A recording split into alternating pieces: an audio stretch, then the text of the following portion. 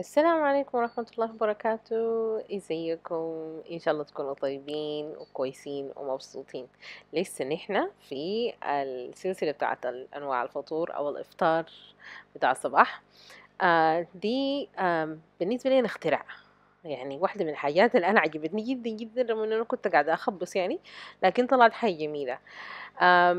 أنا جربت الأكلة دي في أكتر من حتة آه، وهما بيعملوها المكسيكيين اسمها ويفوز رانشيروس آه، بالنسبة للناس اللي ممكن يكونوا بيعرفوا الأكل المكسيكي أو مهتمين بالأكل المكسيكي أكيد حيكونوا سمعوا بها. بس أنا غيرت فيها وخليتها إن هي تكون أول حاجة صحية أكتر.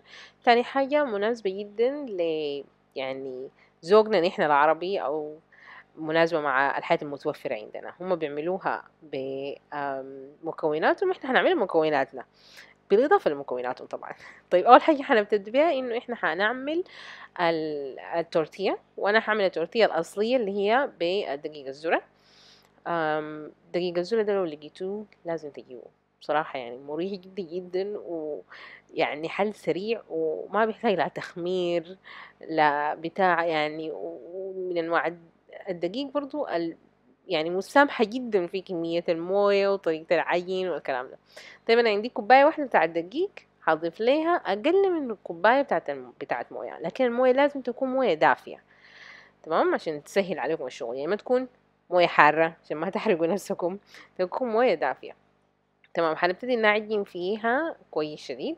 هم أساسا التورتية في أصلها بتتعمل بدقيق الذرة. نحن طبعا بعد ده اتغيرت كتير هي هسي وبيجوا الناس بيعملوها بالدقيق العادي.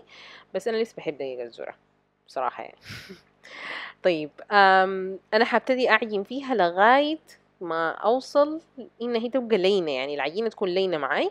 وهنا بعملها في تيستا يعني شلت من عجينة صغيرة ولفيتها في يدي. إذا ما تشققت معاي معناها مقدار الموية مناسب.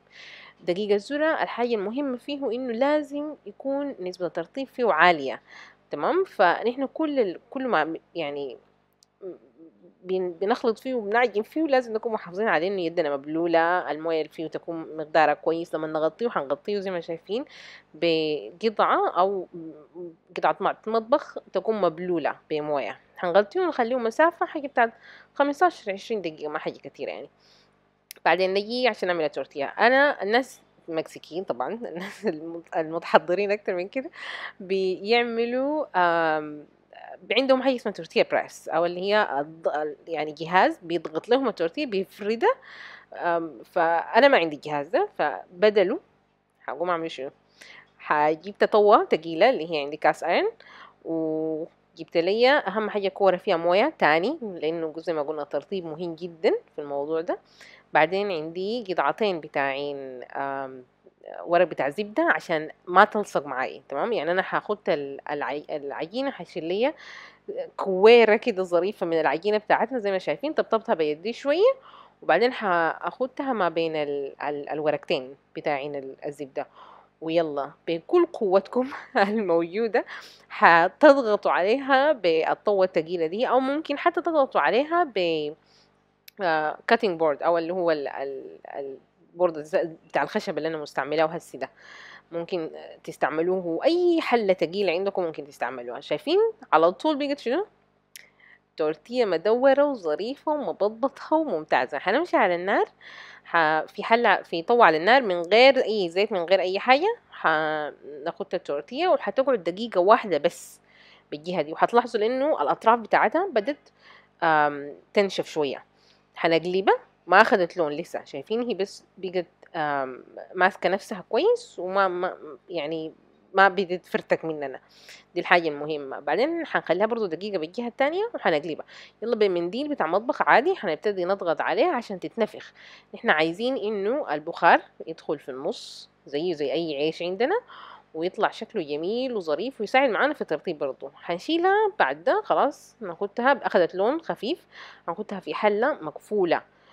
عشان برضو نحن حافظين محافظين على الترطيب دي حاجة مهمة شديد. شايفين لما تتنفخ بتكون النفخ شكلها جميل كيف؟ طيب نجي نعمل الحشوة بتاعتنا بقى. عندي هنا بالجنبة بصلة وشوية بتاعت آه، فلفل أخضر حار أو شطة خضراء وتومة تمام؟ وعندي بالجنبة التانية تمام؟ عندي بصلة بيضة وطماطم وبرضو شوية بتاعت فلفل أخضر حار وشوية بتاعت كزبرة خضراء تمام؟ ديل حيكونوا للتزيين. حنمشي للبصلة والفلفل والتومة بتاعتنا دي حنعمل بيهم فول فول ظريف وخفيف وجميل وما فيه أي حاجة يعني آه معقدة. على الزيت في النار حنضيف البصل وحنضيف الفلفل الأخضر الحار وحنعصر عليهم التومة بتاعتنا دي الفول بتاعي أنا دايما لما بيجي بطبخ كمية كبيرة من الفول أو بدمس كمية كبيرة من الفول وبعدين بخزنه في الفريزر كل ما أحتاج بطلع منه زي ما أنتم شايفين كده حاجة مريحه جدا وعارفة إنه في ناس كتار بيعملوا الحركة دي. أو حتى الناس اللي بيشتروا فول جاهز ممكن يكون عندكم فول متوفر في الثلاجه وتعملوا منه الحاجة دي برضه. نحن هنعمل لهم ملح وفلفل وشوية بتاعت كمون وشوية بتاعت كزبرة. يعني ما حنكتر في النكهات لأنه إحنا لسه حنعمل آه إضافات تانية. فما محتاجين إنه إحنا يعني نعقد الفول نفسه. عايزين إنه يكون طعمه فول يعني طعمه يحافظ على طعمه الأصلي. حنقلب الفول مع البصل والتحابيش اللي إحنا أضفناها دي وزي ما قلت أنا حاضيف له البهارات بتاعته هسي كمون وكزبرة. تعرفين الفول بيحب الكمون. آه وبعد ما نضيف له حنقلبه تقليبة تانية خفيفة كده وحنطفي إحنا كلنا محتاجين كل عايزين إنه يسخن معانا. إحنا ما عايزين إنه هو هو يعني منتهي وهو مستوي. فإحنا ما عايزين منه حاجة غير إنه هو يعني النكهات تتداخل في بعض وكده وخلاص. وبعدين عصرت عليه ليمون. بسيط برضو نص ليمونة ربع ليمونة وخلاص وطفينا النار طبعا. آه نجي للسلطة بتاعتنا اللي هي دي آخر دي واحدة من الإضافات اللي إحنا هنضيفها في الآخر. طيب هضيف لها ليمون وملح وفلفل بس اللي هي فيها شنو؟ بصل وشطة خضراء أو فلفل أخضر حار وكزبرة خضراء أو كزبرة فريش وطماطم بس. وأنا بحب أكتر البصل. عارف إنه الدنيا صباح وفي ناس كتير ما حيكونوا بيحبوا إنه ياكلوا بصل الصباح قالوا البصل إذا ما حابينه أو ما تعملوه خالص يعني بس بده طعم جميل. آه آخر حاجة هنعملها البيض. هنعمل بيض عيون ظريف وخفيف كده هنعمل بيضتين ظريفات. شوفوا أنا المقادير اللي أنا كاتباها في صندوق الوصف دي تقريبا بتعمل حاجة بتاعت أربعة تاكوس وما كبيرة يعني فتقريبا كل واحد فينا كده يعني ادلت أو يعني بني آدم كبير هياكل اتنين تاكوس أنا شخصيا أكلت اتنين يعني بعد على حسب تجوعاتكم في الصباح بتكون كيف. أنا بالنسبة لي الفطور واحد من الحاجات المهمة جدا جدا. يعني لازم إن أنا أفطر فطور كبير وظريف ومشبع. طيب شوفوا التورتيه لينة وظريفة وخفيفة ده كلها لأنه إحنا حافظنا عليها وجوا الحلة والقبيلة الترطيب اللي إحنا تكلمنا عنه والكلام ده الترتيب والسر في التورتيه. طيب بعد ما آه جبت جهاز الصحن بتاعي خطيت التورتيه بتاعتي حنضيف الفول نمسح الفول كده مزحة محترمة ومعتبرة وبعديها حنضيف السلطة. أو قبل السلطة أنا حضيف البيض طبعا. نسيت البيض. هنضيف البيض بعدين نضيف السلطة. آه بتاعتنا اللي إحنا حضرناها. وآخر حاجة أنا عندي شوية بتاعت جبنة فتا هما برضو المكسيكيين بيستعملوا الجبنة حقتهم براها اسمها queso fresco. آه الناس المتوفر عندهم ممكن إنهم يستعملوها الناس المتوفر ممكن يستعملوا الفتا بديل مناسب وجميل وظريف. وآخر حاجة أنا حاضيفها بقى من فوق شوية بتاعت الصوص بتاع صوص حار أو اللي هي شطة عندنا زي شطة رنا. في الدول العربية أو كده. آه بس أنا بحب الحاجات ال spicy يعني شوية. وخلاص كده انتهت. شوفوا فطور حلو وظريف وخفيف. يعني ما خفيف شديد يعني لكن فطور مشبع خلونا نقول. ويعني أنا واحد من ال... أنا بحب الفول جدا جدا. ولما ألقى فول بحاول إنه دايما أعمل فيه كل التغييرات الممكنة.